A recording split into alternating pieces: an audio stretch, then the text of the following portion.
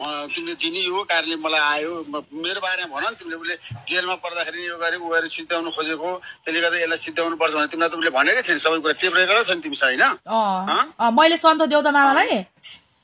मैले कागज पनि देखाएको। "ए, मामा यस यस्तो गरेर यस्तो गरेर प्लान गरे। मामा यसमा हेर्नु मामा मलाई ब्ल्याकमेल गर्दै भने भनेर सन्तोष देउता मामालाई मैले देखाउँदाखेरि सन्तोष मामाले के भन्नुभयो भने भान्जी केही पनि हुँदैन टेन्सन नलिउ भनेर भनेको। अनि यसरी गर्छ एक्कासी यस्तो गर्छ भने मलाई के छ भने त्यही त अब तैँले गएर तुरुन्त अब त्यो सन्तोषमा आउँछ त्यहाँ एउटा इन्टरभ्यू त्यो सबै तिमी वृत्तान्त बनाऊ क्या तिमीलाई रेस्टुरेन्टमा तिमीलाई बोलाएको खुवाएको छ नि बुझेनौ?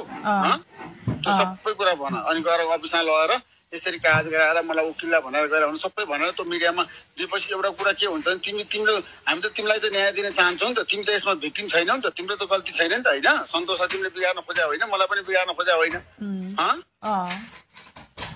त्यो त के गर्नु पर्यो? त्यसको किनभने म मनोज त्यसै तिमीलाई दबाब दिएर इन्टरभ्यू गर्न लाग्यो नि त। दबाब कस्तो अचम्मै तरिकाले हाल्यो भने हाल्दैन म गर्दैन यस्तो गर्दिनँ म त्यस्तो पाप छोराछोरीको दुनियाँको कसम खाएर जस्तो गरेको मान्छे हो नि त। अन्यायमा पर्